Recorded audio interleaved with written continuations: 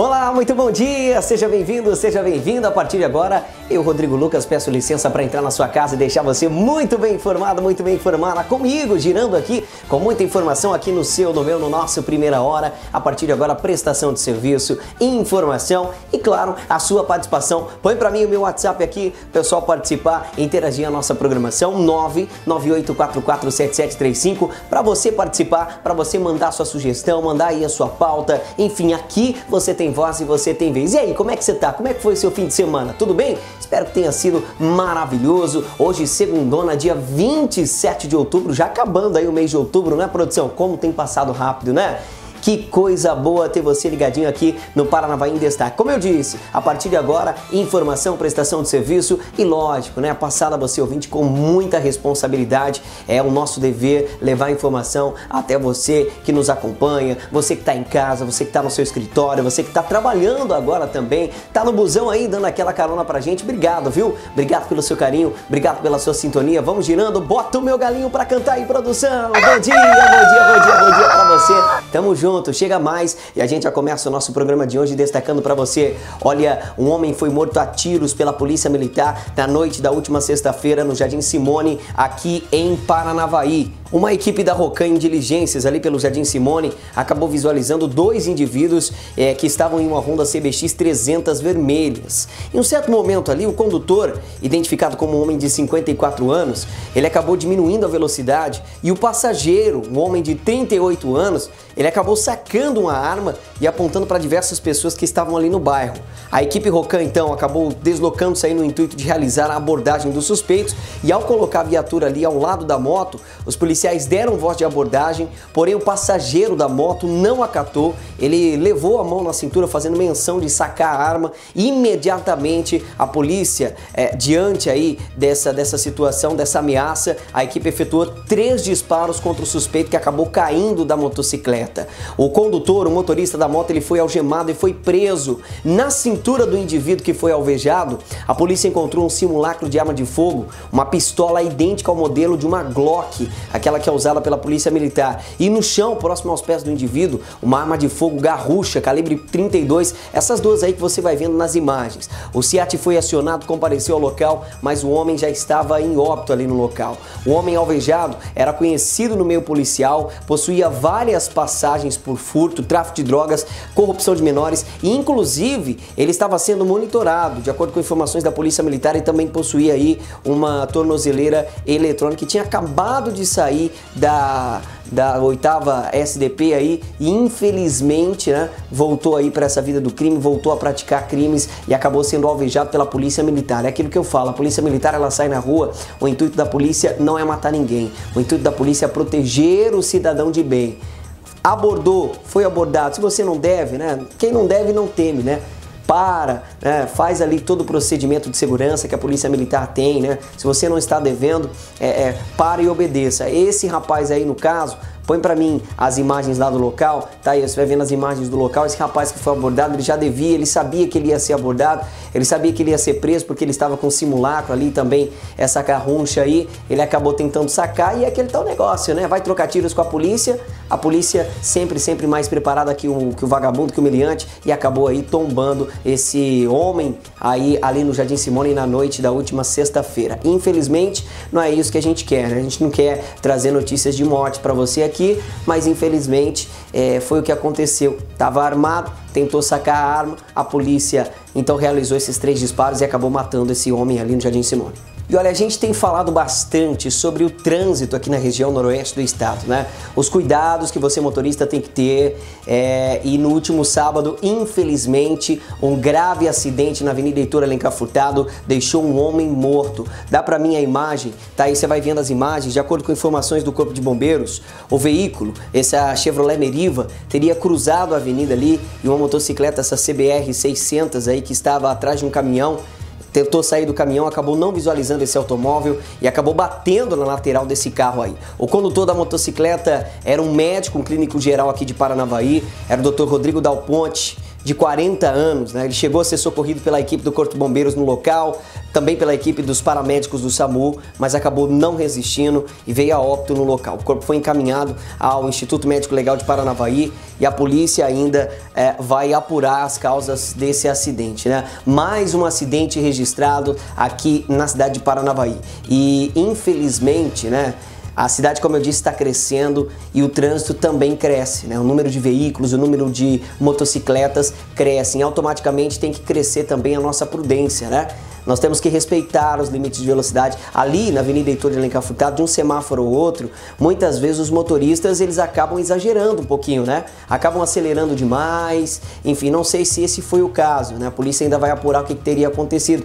Mas a gente sabe que ele tentou sair ali do, do, do caminhão e infelizmente essa Meriva ela estava entrando aí e acabou batendo, né? Nós tentamos conversar com o proprietário da Meriva, ele estava também é, bastante abalado ali no local, não quis falar com a nossa nossa equipe, mas a gente é, se solidariza né, com a família do Dr. Rodrigo, nossos sentimentos. A gente sabe que é um momento muito difícil, né, um momento de luto, um momento de perda, é um momento difícil. Infelizmente, mais um homem aí de 40 anos é, que vai entrar para a estatística do trânsito perigoso aqui na cidade de Paranavaí. Né? E você, motorista, que está me assistindo nesse momento, você tem que se conscientizar. O trânsito tem se tornado muito caótico aqui na cidade de Paranavaí. Né? As pessoas reclamando bastante, as pessoas vão entrar, não dão a seta, entram de qualquer forma, viram de qualquer forma, vai fazer conversão, não liga a seta, não usam mais o cinto de segurança aqui em Paranavaí. É preciso fazer uma fiscalização, é, os órgãos de segurança aqui precisam voltar a fiscalizar, precisam voltar a fazer aquelas blitz, né?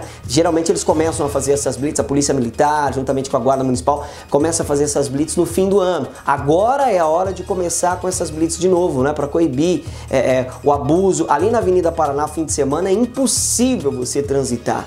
Né? É motoqueiro que estrala moto, é motorista que anda acima da velocidade permitida ali na via. Enfim, é complicada a situação ali na Avenida Paraná. Precisa fazer algo, né? Precisa voltar a intensificação de trânsito imediatamente, urgente, para coibir esse tipo de ação aqui em Paranavaí, para que acidentes não voltem a ocorrer. Infelizmente, nesse sábado, um sábado violento aqui na região noroeste, é, referente a acidentes. Me dá para mim essa imagem desse outro acidente? Você vai vendo esse outro acidente que também aconteceu momentos antes na Avenida Heitor Alencar Furtado, isso lá no Jardim São Jorge.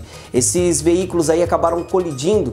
É, as informações que nós temos aqui é de que essa caminhonete estava tentando fazer uma, uma, uma, conversão ali, acabaram batendo ali de lado os dois veículos. Você vai vendo aí esse Astra. Olha só como é que ficou a situação do Astra aí. A lateral fica tota, ficou totalmente destruída e essa é uma Saveiro, né? Uma Saveiro também, né? Ficou totalmente destruída. Infelizmente, no outro caso, é, nós tivemos um óbito. Nesse caso aí, as informações que nos repassaram, né, as imagens chegaram pra gente via WhatsApp, a gente colocou aqui, é de que não teve vítimas. Menos mal, né?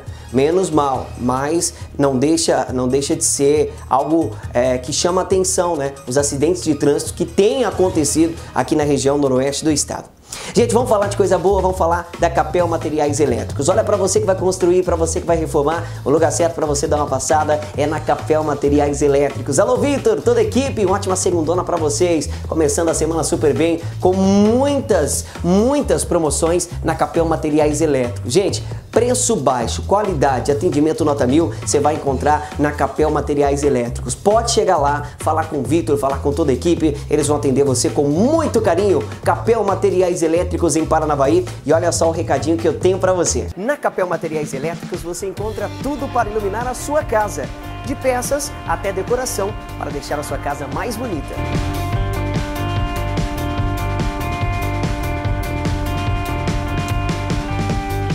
Loja ampla, moderna e com espaço de espera para melhor atender o cliente sempre com bom atendimento, os melhores preços e um estoque completo para atender você de Paranavaí e toda a região.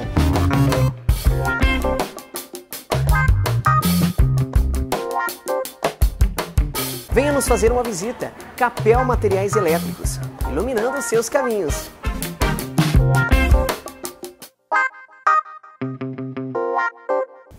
Vamos nessa, vamos seguindo. Produção, meu café tá pronto? Tá pronto meu cafezinho? Traz pra mim aqui, traz pra mim aqui. Tá aí, minha canequinha aqui. E você, já pegou essa canequinha? Já levantou? Já tá pronto aí pra mais um dia? Segunda-feira, hein? Geralmente o pessoal não gosta muito de segunda-feira, né? Diz que segunda-feira é braba, que não sei o que. Nós temos que enfrentar segunda-feira como se fosse uma sexta-feira. Claro que não vai ser com o mesmo teor, né? Mas vamos enfrentar a semana de uma forma boa, né? Ver as coisas boas que a vida nos deu. Mais uma semana para que você possa fazer, tudo aquilo que você almejou a semana passada que você não conseguiu fazer, bote em prática nessa semana e lembre-se, coloque sempre Deus no seu coração. Bora tomar aquele cafezinho, acorda Maria Bonita! Bora levantar, fazer aquele cafezinho esperto para você que está indo trabalhar agora, para você que está voltando do trabalho, enfim, tá aí acompanhando o nosso programa. Tamo junto, muita informação para você, girando a região noroeste do estado, trazendo aqui as principais informações do fim de semana para você aqui no primeira hora desta segunda-feira. Eu já vou tomar, claro, meu cafezinho aqui, só um minutinho.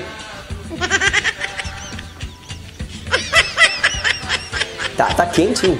Tá quente o cafezinho? Feito agora, né? Passar agora. Eita, coisa boa! Vamos seguindo, vamos seguindo, porque aqui a informação não para. Olha, gente, eu digo aqui sempre que é importante você denunciar, é importante você ligar para a polícia, é importante você fazer a sua parte também, você como cidadão. A polícia tem feito a parte dela, tem prendido, tem realizado muitas apreensões. Nós temos trazido aqui é, é, é, no primeira hora muitas apreensões realizadas pela polícia militar, mas dá para mim essas imagens. Olha só, você vai vendo essas imagens aí, tudo isso daí que você vai vendo, essa arma aí, esse, esse dinheiro, essa droga, foi apreendida na noite da última quinta-feira no Jardim São Jorge. A polícia avistou um suspeito entrando aí em uma residência. A equipe deu voz de abordagem, o homem acabou desobedecendo essa ordem de abordagem, ele correu para os fundos da residência e lá ele foi abordado juntamente com outros dois indivíduos. Durante a busca pessoal, nada de ilícito foi localizado com eles, porém, dos fundos da casa, a polícia conseguiu visualizar em cima de uma geladeira essa arma de fogo que você vai vendo aí. A equipe então entrou na residência e constatou que se tratava desse revólver, um revólver Taurus calibre 38, e estava carregado com essas seis munições aí, que inclusive estavam intactas, hein?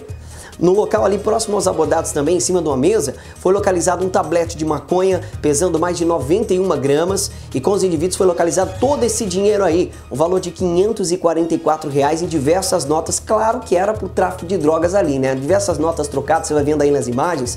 Diante dos fatos abordados de 24, 28 e 33 anos, juntamente com a arma e a droga e os objetos apreendidos, foram encaminhados à delegacia para as providências contra o primeiro abordado que tentou se evadir da equipe aí, também havia um mandado de prisão em aberto.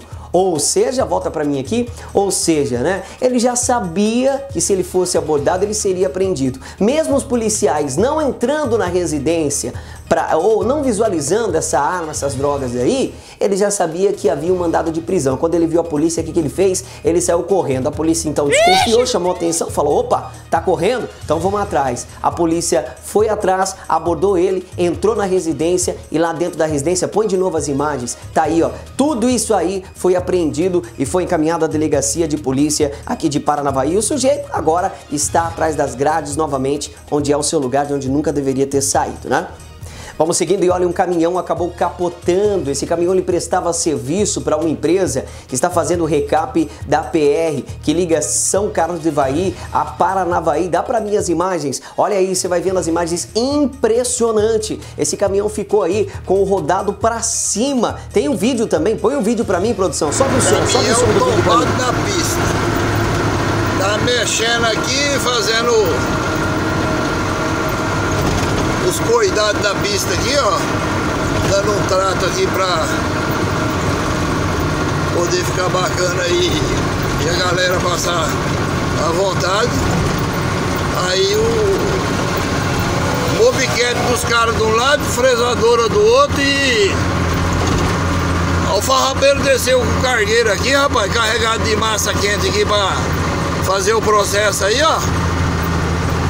E deitou aqui, rapaz, mas ele foi abençoado por Deus aqui, ó. O cargueiro aqui caiu a gabina aqui, aí roda todo pra cima aqui, ó. O Cassiano tá. Graças a Deus ficou tudo aos contentes aqui. Não houve problema nenhum aqui, ó. Não problema nenhum. Mas aí a bagaceira tá aí, ó, pra galera ver, tá bom? É. Beleza? Tá aí impressionante, de acordo com informações, graças a Deus não houve vítimas ali no local. Mas você vai vendo a imagem, põe a imagem para mim do caminhão.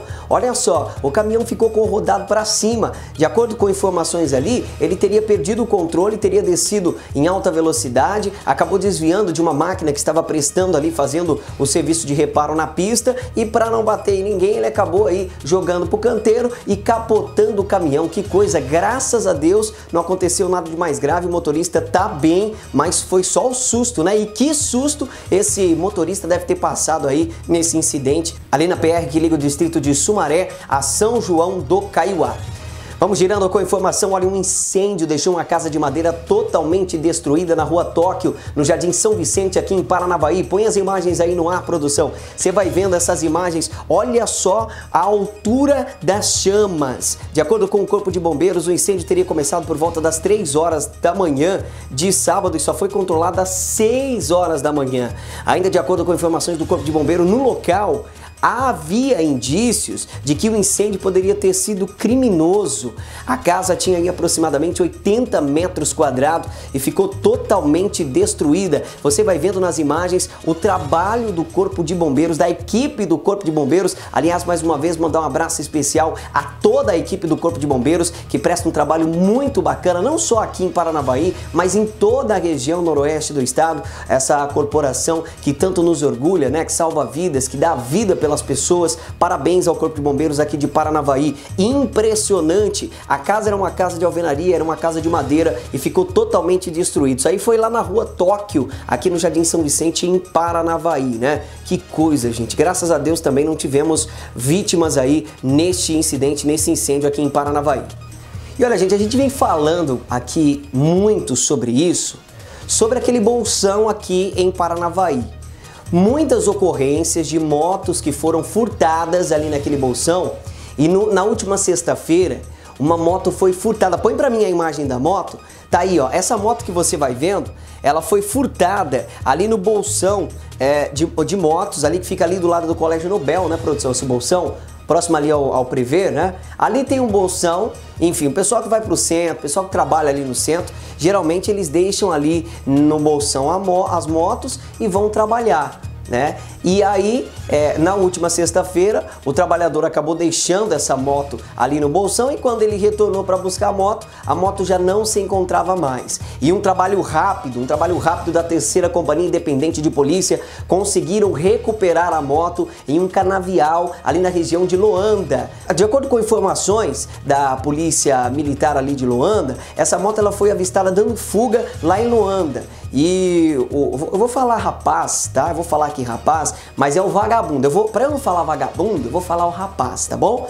O rapaz que estava com essa moto aí, ele acabou ficando com medo e acabou abandonando a moto em um canavial. Quero aqui já agradecer em nome do proprietário, mandou mensagem pra gente aqui, pra gente agradecer ele, que é o GM também, um guarda municipal, pediu pra gente agradecer o trabalho da terceira companhia independente, dos policiais civis também, ali da, daquela região. É a terceira companhia independente, né, produção, que realizou essa apreensão aí. Põe pra mim a imagem da moto, tá aí, ó. A moto foi recapturada e vai ser, então, foi devolvida ao dono. Parabéns à terceira companhia independente de polícia pelo belo trabalho que vem prestando aqui na nossa região. Deixa eu terminar de tomar meu cafezinho aqui, já aproveitar, né? Aproveitar mandar um abraço especial à nossa produção aqui que faz o nosso cafezinho esperto todos os dias, todas as manhãs. A gente acorda, chega aqui no estúdio, tem um cafezinho pronto para tomar aqui. Deixa eu já tomar aqui. Tá aí, segura aqui a canequinha. Não vai derrubar minha canequinha, hein? Não vai derrubar minha canequinha. Pode encher minha canequinha daqui a pouquinho. Vou tomar um cafezinho de novo aqui.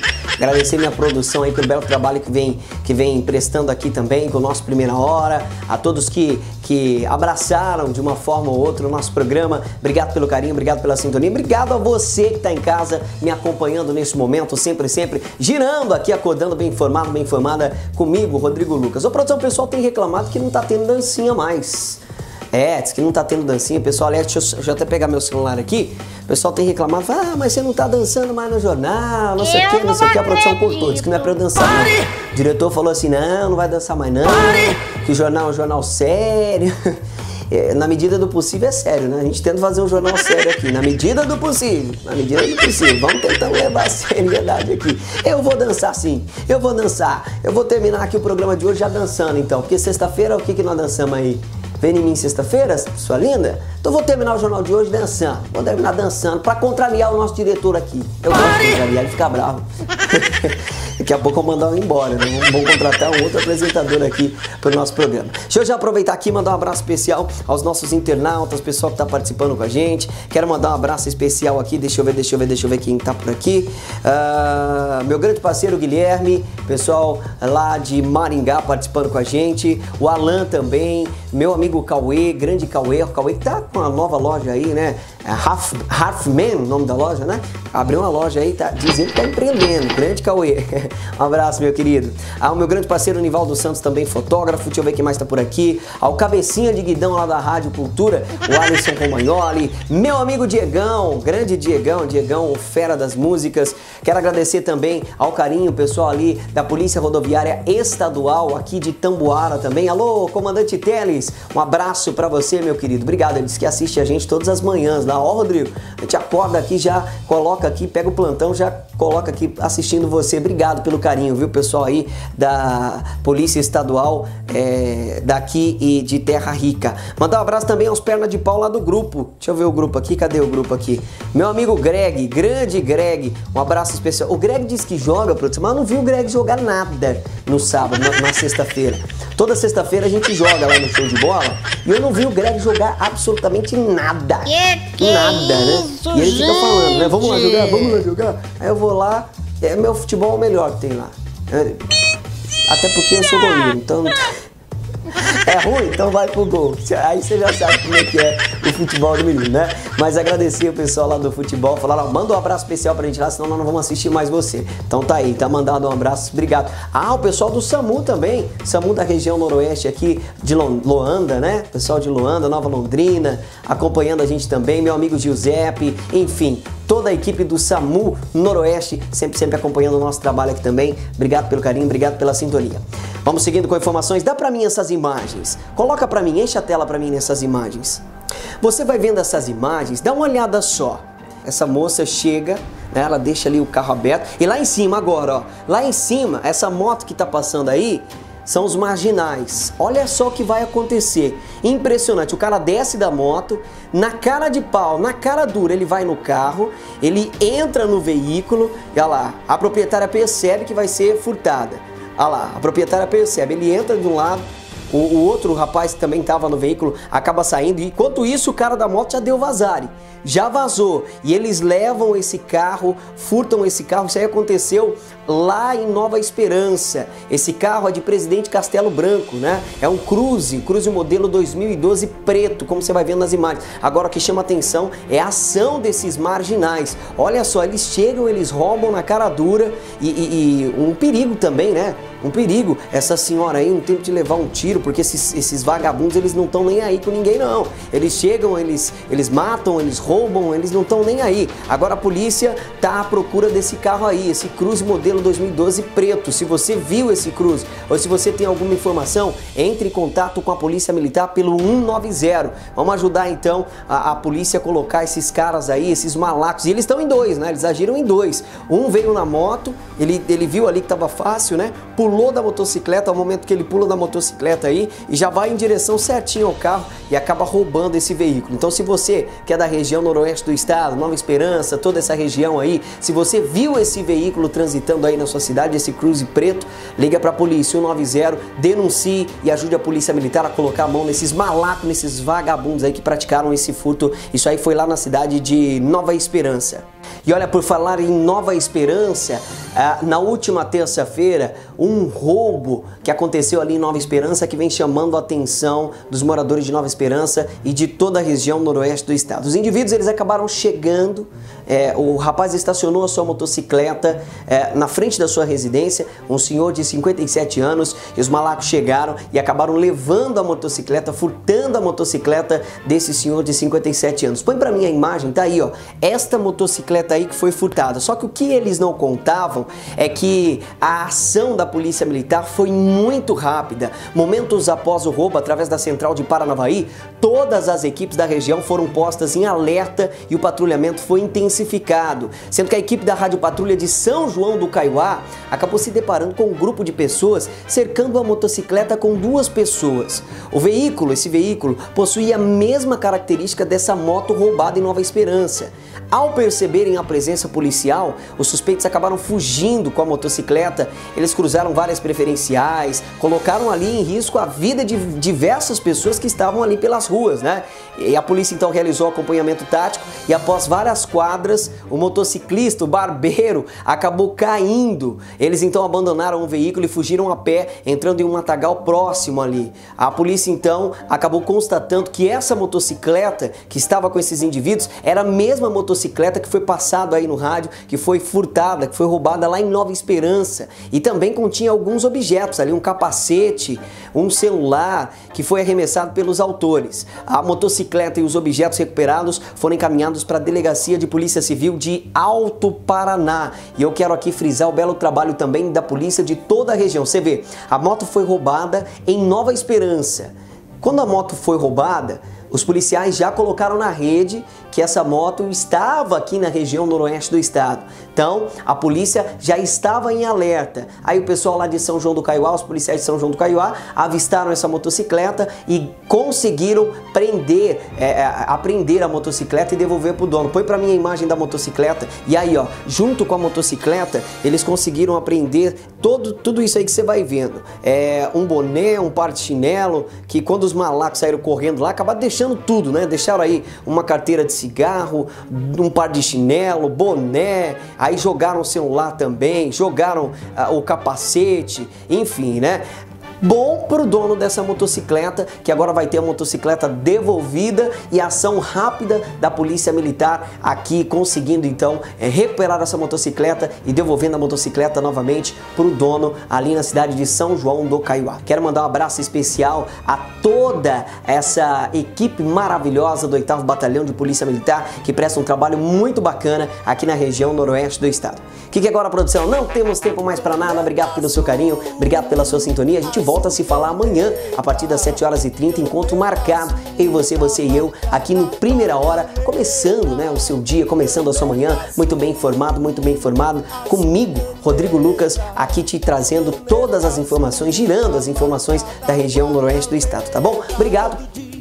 Beijo para você, que você tenha um ótimo comecinho de semana e a gente se fala, a gente se vê amanhã, hein? 7h30, enquanto marcado. Tchau, um abraço, até lá. Caneta azul azul caneta, caneta azul, tá marcada com a minha